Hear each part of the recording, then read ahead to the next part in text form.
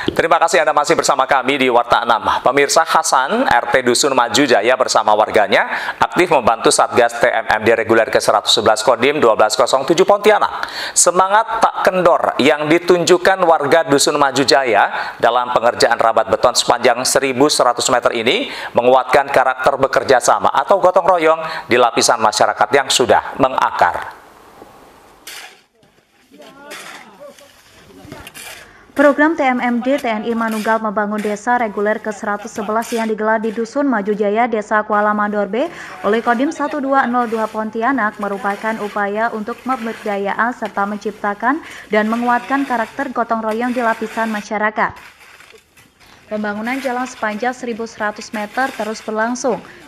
Semangat warga Dusun Maju Jaya membantu Satgas TMMD ke-111 Kodim 1207 Pontianak tak pernah kendor. Hasan, Ketua RT 003 RW 003 Dusun Maju Jaya mengatakan antusias warga sangat luar biasa. Semangat gotong royong masyarakat terlihat sejak hari pertama sampai dengan sekarang. Tentu ini sangat menggembirakan karena hal ini menunjukkan bahwa TNI tidak bisa dipisahkan dengan rakyat. Semangat gotong royong ini harus terus dipertahankan sehingga dapat melahirkan rasa persatuan yang kuat antar warga. Tim Liputan KSTV.